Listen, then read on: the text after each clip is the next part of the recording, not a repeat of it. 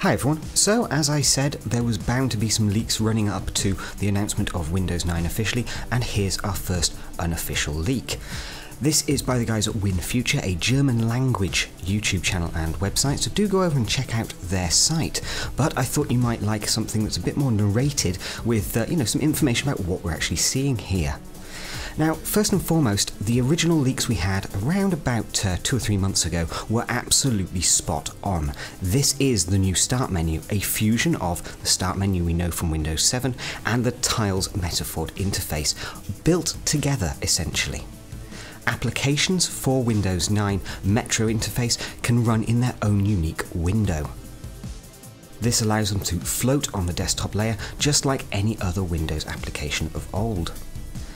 This new halfway house, a fusion between the old one app, one window philosophy and the traditional desktop application, is certainly very welcome. Although it's hard to escape the feeling that the Windows Start menu is pretty much growing across the desktop screen.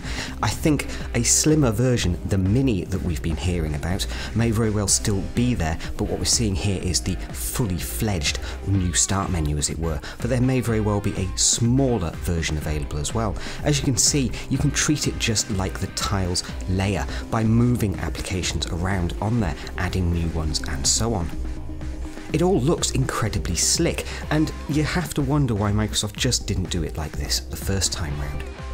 It would have made the transition between these two very different interface metaphors much easier for end users to understand. It also wouldn't have created the same barrier in enterprise that Microsoft has encountered with trying to get Windows 8 rolled out. Thanks for watching. Do please subscribe to us on YouTube and Twitch, and please like and comment on these videos as well. We love to chat.